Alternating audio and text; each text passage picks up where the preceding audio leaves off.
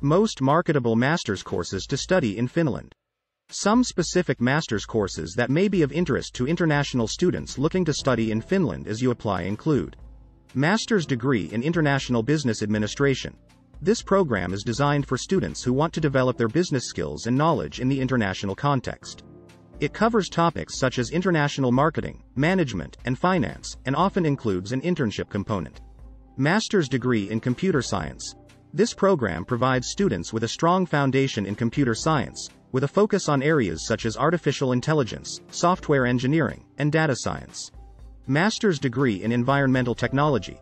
This program is designed for students interested in environmental protection and sustainable development, and covers topics such as energy efficiency, waste management, and air and water pollution control. Master's degree in Public Health.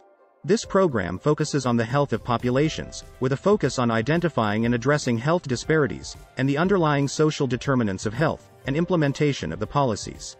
Master's degree in Data Science and Artificial Intelligence.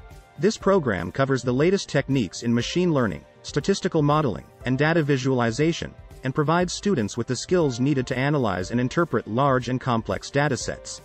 It's worth noting that these courses are usually taught in English and many universities have specific programs for international students, so check the details of the courses and universities you're interested in. So hurry up and apply for these courses and influence your own future positively with some world-class training and skills. We shall put out another video for comprehensive details about PhD application process and opportunities in Finland. If you like this content, like, subscribe and Ring on the notification bell to get more content of this nature.